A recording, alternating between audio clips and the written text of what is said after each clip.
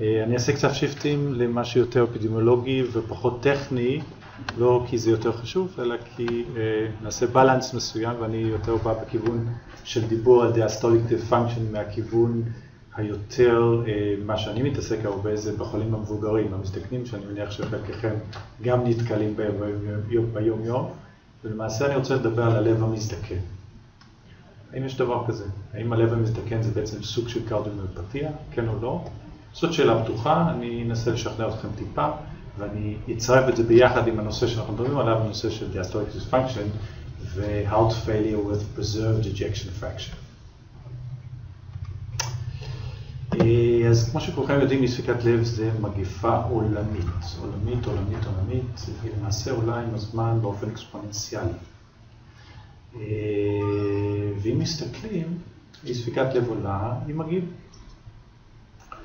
ואתם יודעים שהעולם מזדקן, ולכן אי ספיקת לב מסתכנת באופן משמעותי. אז בואו נסתכל קצת על הדאטה לגבי הנושא הזה. אז תסתכלו על אי ספיקת לב בגילים, לפי התפלגות של גילים. תסתכלו פה, מעל גיל 80, כמעט 10% מהאוכלוסייה, סובלים מאי ספיקת לב.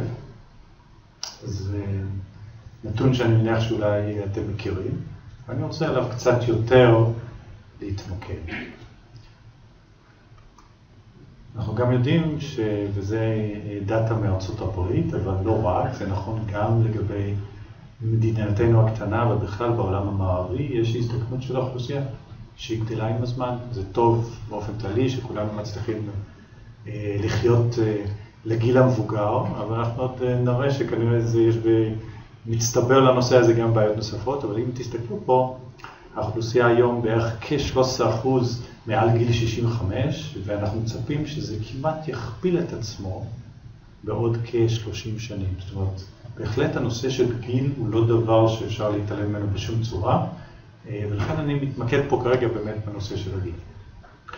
עכשיו, אם אנחנו לוקחים את הכל ביחד, אם מספיקת לב מתבטאת בעיקר בגיל המבוגר, והאוכלוסייה מזדקנת וצפויה להכפיל את עצמה, אז כלל וכלל לא מפתיע שאי ספיקת לב, לעומת מחלות אחרות, תעלה באופן אקספוננציאלי בשנים הקרובות, ופה זה דאטה מארצות הברית.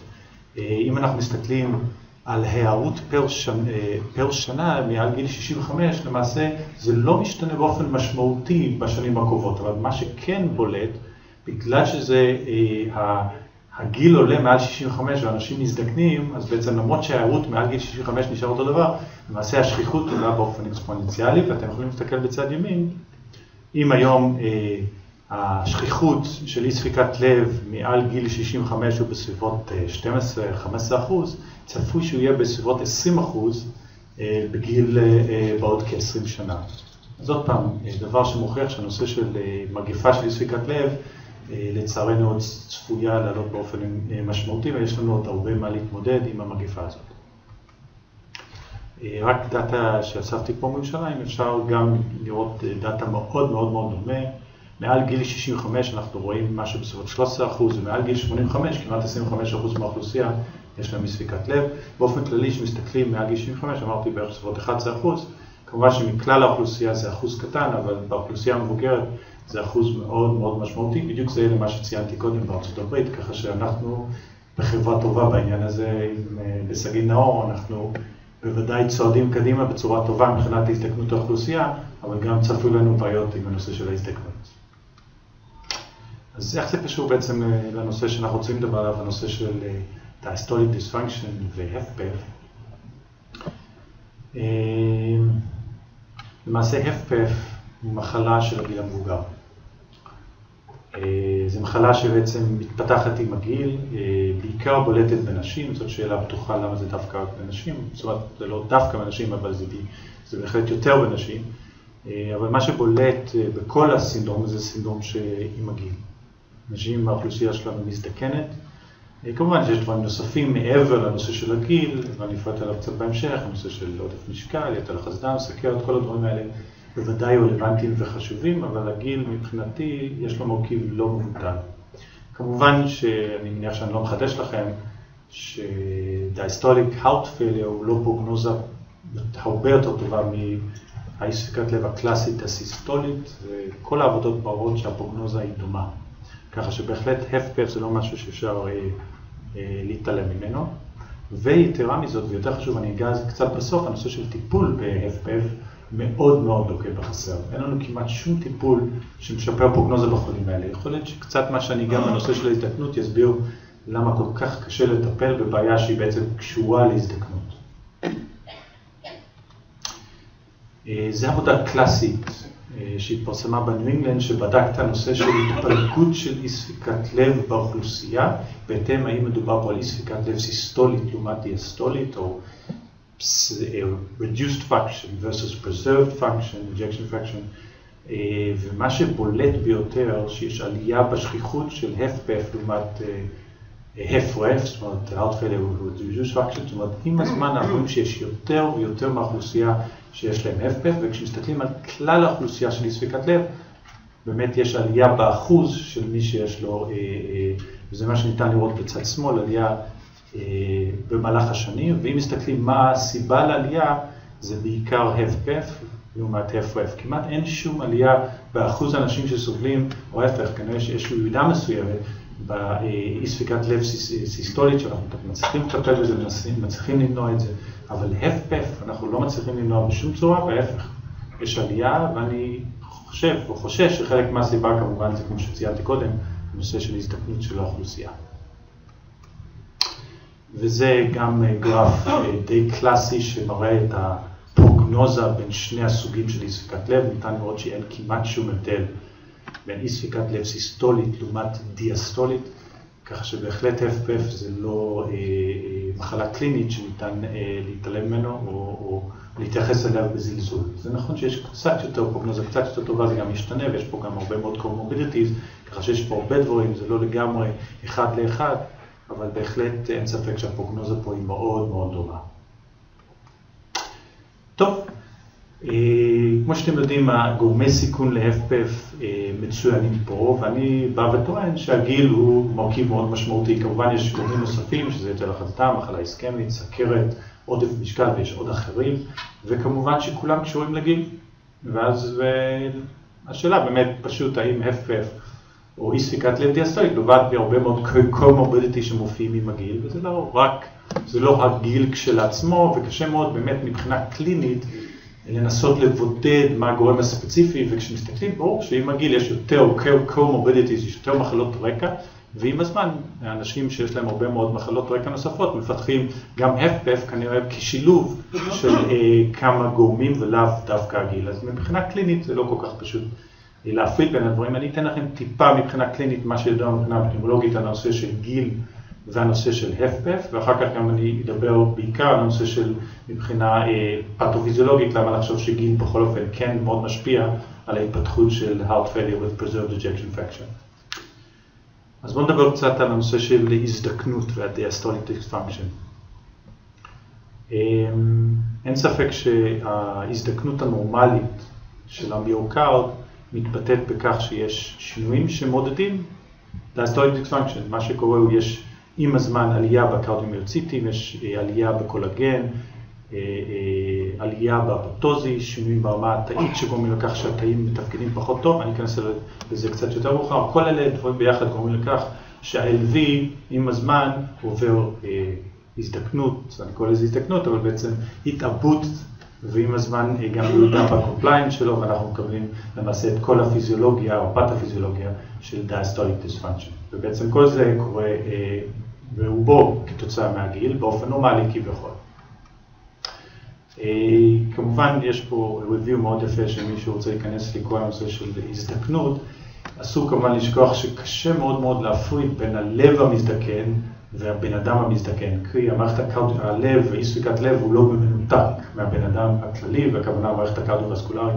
גם המערכת הקרדיו-וסקולרית הכללית, המערכת העורקית והווידית, כולם עוברים הזדקנות כמו הלב עצמו, ובוודאי כשכולם ביחד, אה, הבן אדם הוא בן אדם אחד וכל הדברים האלה מתפתחים יחד, יש המון המון מרכיבים עם הגיל שמשפיעים גם על הלב, גם על המערכת הפריפרית, ולכן כשבעצם תורמים את האי ספיקת לב הקלינית, אין ספק שזה לא רק הלב כשלעצמו, אלא צריך לקחת בחשבון שכמובן יש afterload יותר גבוה בחולים מבוגרים, ולכן צפוי שיהיה גם עיבוי של הלב כתוצאה מיתר לחץ דם או חוסר העלות של, של, של המערכת הפריפרית, ככה שאי אפשר להתייחס ללב במנותק ולהגיד, הוא זה מה שגורם לתסמונת הקליטית, אין ספק שגם המרכיב הפריפרי, אסור לשכוח אותו.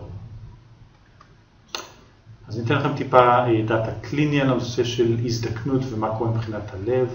זו עבודה שהתפרסמה לפני הרבה מאוד זמן ב-Feminine Heart Study, שהראה ש-LVH, Ventricular Hypertrophy, עולה עם הגיל. וזה במנותק, לא במנותק, אבל זה לא חייב להיות עם יתר לחץ דם. זאת אומרת, גם רק הגיל כשלעצמו, וזה בולט יותר בנשים. בנשים אפשר לראות למשל אנשים עם לחץ דם רגיל, ואת אנשים בואים כביכול. מעל גיל 60 יש כ-20% מהאוכלוסייה שלכאורה יש להם LVH, זה קצת פחות בגברים, וזה באנשים כביכול בואים. וזה גם אה, מהעבודות השונות בארצות הברית. שבדקו את הנושא של גיל ועובי של החדר השמאלי, ה-posterior thickness, רואים שיש עלייה ממש ישירה בין אה, גיל לבין עיבוי של החדר השמאלי, ובצד ימין אפשר לראות פה את הנושא של ה-E to ratio שכולנו מכירים, שיש ירידה ב-E ratio שהוא כביכול פיזיולוגי כביכול. תלוי מה ההגדרה של פיזיולוגי או פתופיזיולוגי, אבל העובדה היא שיש ירידה ב-E to A, שזה כמובן בהקשר לירידה בעינות של החדר השמאלי. והוא בהקשר באופן ישיר ללב, אנחנו אפילו אומרים, זה נורמלי בגיל המבוגר. אוקיי, זה נורמלי, אבל נורמלי כשמשווים את זה לאוכלוסייה, אבל האם זה טוב? זאת כבר שאלה אחרת. ופה יש עבודה, או בעצם דבר שאנחנו בדקנו אצלנו ביחידת אקו, וניתן לראות באופן ישיר, יש עלייה ב-LV Mass Index עם הגיל, זה אנשים בריאים, שהוצאנו אנשים מחלות אה, נלוות ולבולריות, וניתן לראות שעם הגיל יש עלייה ב-LV מס אינדקס שהוא לכאורה בהקשר לגיל בלבד. עוד עדויות לכך שמבחינה קלינית צפוי שיש עיבוי של החדר השמאלי כתוצאה מהגיל.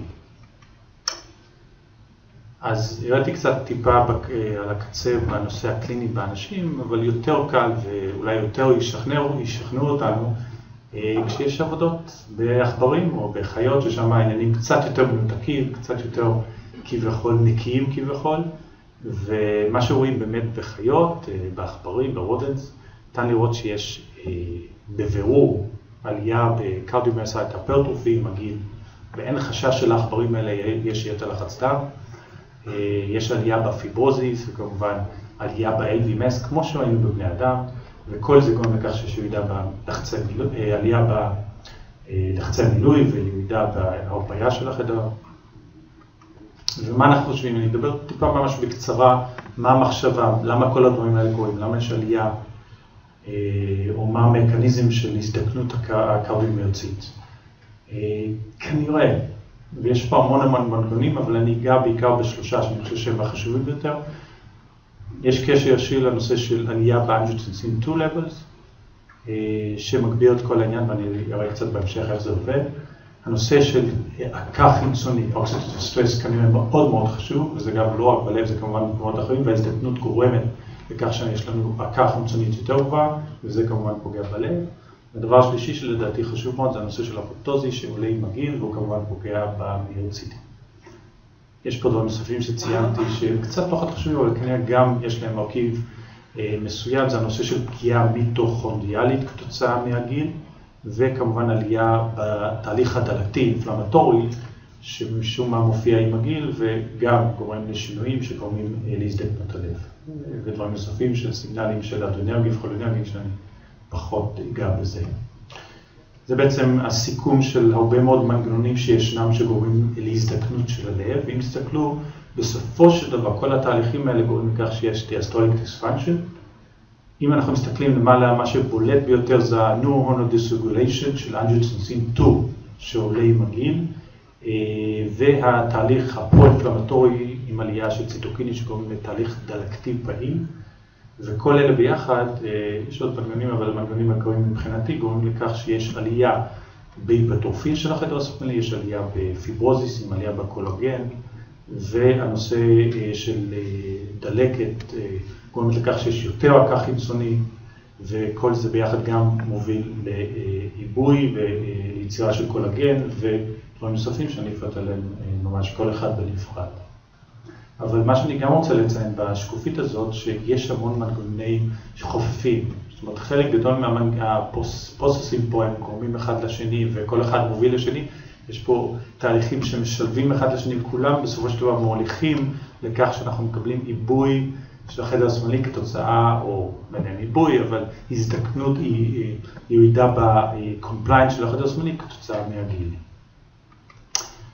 אה, ואם נתמקד ספציפית על המנגנונים שיש, אז המנגנון העיקרי זה המנגנון הפרופיבוטי כתוצאה מאג'וצים 2 והקר חמצוני שגורמים לכך שיש הגברה ויצירה, הפעלה של מערכת ה-TGF-בטא, גורמת לטרנספורמציה ולעידוד של יצירה של קולגן, זאת אומרת גם הפרשה, גם פחות פירוק של קולגן, כל זה גורם לכך שיש יותר extracellular matrix שעולה וכל זה גורם כמובן לפיברוזיס, זה בעצם המנגנון העיקרי שעולה עם הגיל. מנגנון נוסף שכדאי להזכיר אותו, ואנחנו עברנו עכשיו מה, מהמרכיב המכני הפיזי למרכיב הפיזיולוגי התפקודי, יש גם פגיעה תפקודית בהרפאיה מעבר לפגיעה המכנית, ומדובר פה על פגיעה בסרקה, במנגנון של ההרפאיה כתוצאה מהנדלינג של סידן. העקה החיצוני גורם לכך שיש פגיעה במשאבת סידן, וזה כמובן מאוד מאוד חשוב, גם בהרפאיה של החדר השמאלי, זאת אומרת שאנחנו רואים גם כחלק מההזדקנות, אנחנו רואים הרפאיה, זאת אומרת פגיעה בתפקוד ההרפאייתית של החדר השמאלי, מעבר לבעיה המכנית.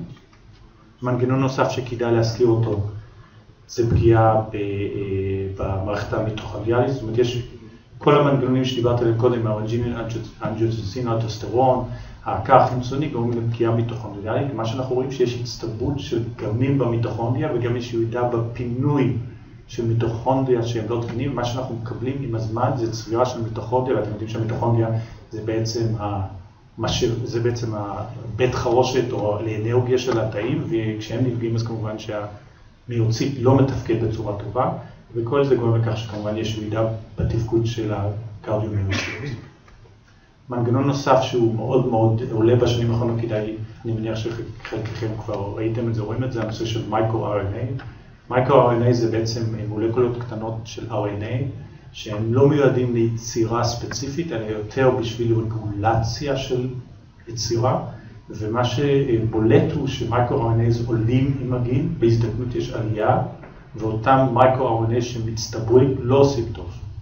מה שניתן להראות ש micro-RNA למשל 18-19, הם בעצם גורמים לכך שיש עלייה ב pathways הפרופיברוטיים, כמו שציינתי קודם, לגבי הגברה של TGF-בטא ותרומבוספונדין אחד, ואותו דבר גם מייקרו-RNA 34 הוא בהקשר לאפוטוזיס, זאת אומרת עוד איזשהו מנגנון שמגביר את התהליכים הפיזיולוגיים, פתופיזיולוגיים שדיברתי עליהם בהקשר להזדקנות. ודבר אחרון שכדאי להזכיר אותו בכלל בנושא של הזדקנות, והוא קשור והוא נכון ורלוונטי גם לגבי הקרדומיוצית, זה הנושא של טלומר uh, אטרישן. התשה, זה הכוונה כהתקצות של הטלומרים, טלומרים זה אותם קצוות של הכרומוזומים, והם כמו כרטיס שיש לנו uh, כמות מסוימת שאפשר להשתמש בכרטיס, שמורידים כבר עוד משהו ועוד עוד משהו, בעצם בסופו של דבר uh, הכרומוזום נהיה לא יציב, ובעצם קיצור של הטלומרים, זה הקצוות של הכרומוזום, בעצם מעידים על הזדקנות, ובעצם בסופו של דבר התפרקות של הכרומוזומים ופירוק של התא, והם קשורים ישירות להזדקנות של תאים, כולל גם הקרדיומיוצית, ורואים את זה במפורש, שטלומרים שמתקצרים, יש אה, לב שמתפקד פחות טוב. אז אם דיברנו על מנגנונים, האם יש מקום אה, לטיפול? זאת שאלה קשה. אתם יודעים שלכאורה הזדקנות זה דבר שהוא כביכול לא הפיך, אבל כן יש לאחרונה אה, כל מיני אופציות לנסות אה, למצוא פתרונות בהתאם לפתופיזיולוגיה והמנגנונים שדיברתי עליהם, ואני אפרט ממש ממש בקצרה על איזו עבודה מעניינת ביותר שעשו בעכברים, לקחו אה, עכברים זקנים וצעירים, בזקנים כמו שאמרתי יש היפרטרופיה, יש הזדקנות של הלב, ועשו איזשהו חיבור ביניהם דרך סרקולציה, והראו שעל ידי אותו חיבור, על ידי סימביוזה או parabiosis, הם קוראים לזה, שבעצם יש להם מערכת אה, אה, לב אה, משותפת, הראו שהלב של העכבר מזדקן קטן, וכביכול עבר רגרסיה ונהיה יותר קטן ופחות היפרטרופי. קצת science fiction אני קורא לזה, אבל כן, והם מצאו איזושהי מולקולה ששונה בין העכברים הזקנים והצעירים, וזה ה-growth differentiation factor 11, והם הזריקו אותו והראו שזה מצעיר את הלב, ולכאורה קצת דרך מדהימה.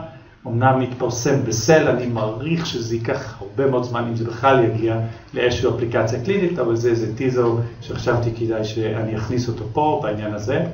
אבל אם אנחנו כן רוצים לדבר על דברים קצת יותר פרקטיים ורציניים, שכן רלוונטיים מאוד מאוד, זה הנושא של ירידה במשקל. ואיך זה מתקשר? אנחנו יודעים שקלוריק restriction הוא מנגנון חשוב מאוד במניעה של הזדקנות של הגוף, וזה כולל גם את הלב.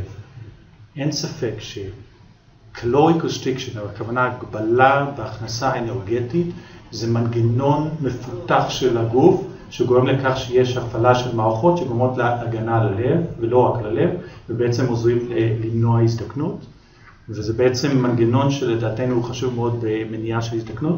מה שחשוב לציין, ויש רגולטורים שנקראים סירטורים, Silent Information Regulators, רגולטורים מאוד מאוד מעניינים, שהם קשורים בעצם לאותו מנגנון שמופעל כתוצאה מ caloric restriction, הם עולים והם מגינים מאותם תהליכים פתופיזיולוגיים שדיברתי עליהם קודם.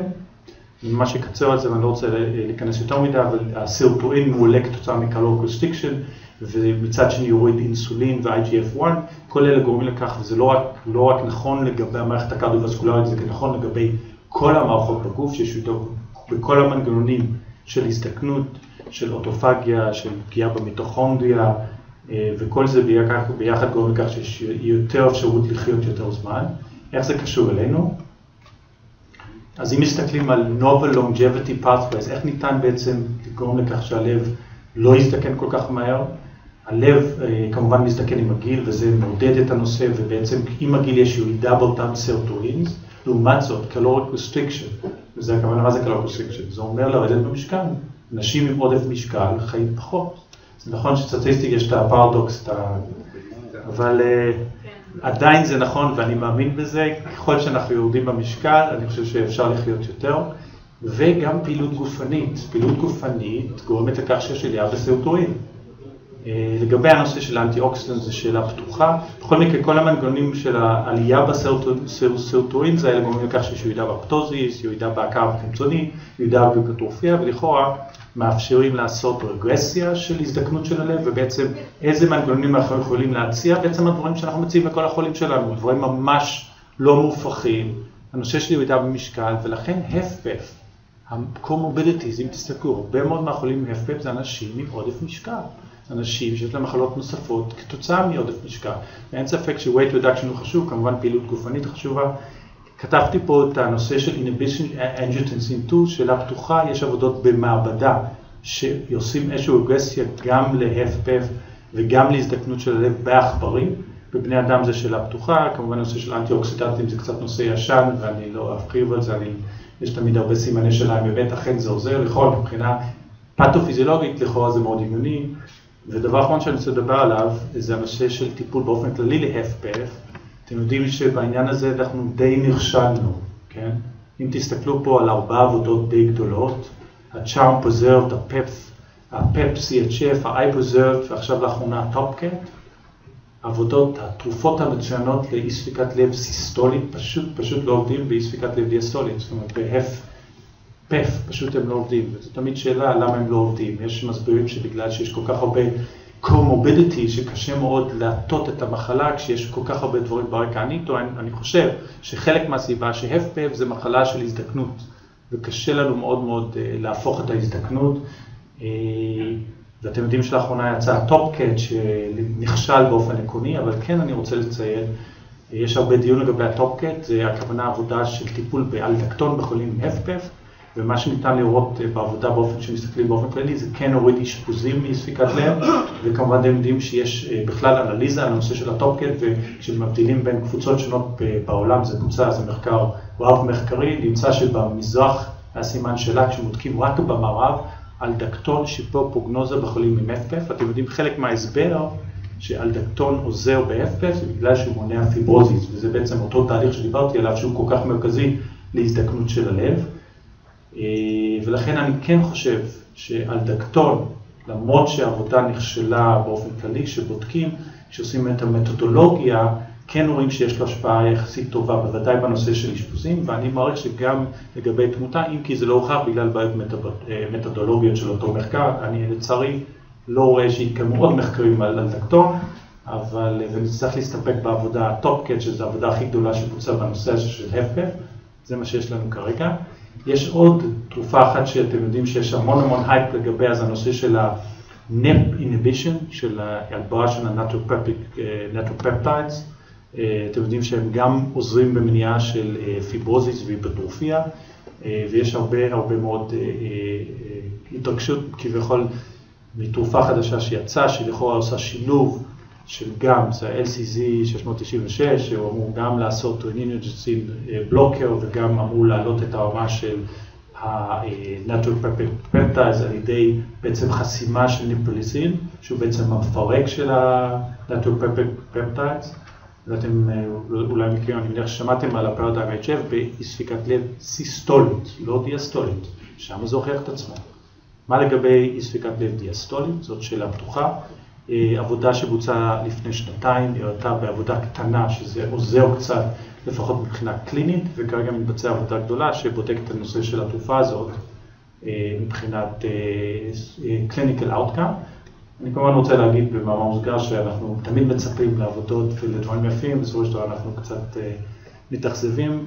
אני חושב ש-HFpEF הוא בעיה מאוד גדולה מהבחינה הזאת, כמו שציינתי, קשה לנו מאוד למנוע הזדקנות, ואם אני רוצה לסכם, האוכלוסייה מזדקנת, אין בזה שום ספק, ועם הזדקנות של האוכלוסייה, יש גם הזדקנות של הלב, יותר שכיחות של אי ספיקת לב דיאסטולית, כתוצאה מעיבוי של החדר השמאלי, פיברוזיס, פגיעה במיטוכונדריה, כל אלה גורמים ל diastolic dysfunction, ולמעשה הטיפולים שקיימים היום הם חסרים מאוד. אני חושב שצריך לחזור ל basic, שזה פעילות גופנית וירידה במשקל, שלדעתי זה קל, לא קל מאוד, אבל זה בר יישום, שמונע הזדקנות. אם לגבי טיפולים נוספים, אני מקווה שיהיה בעתיד הקרוב או הרחוק, או שיהיה לנו איזה תרופת פלא למנוע הזדקנות, קשה לי להאמין שיהיה, וזה אני מסכם פה. תודה רבה.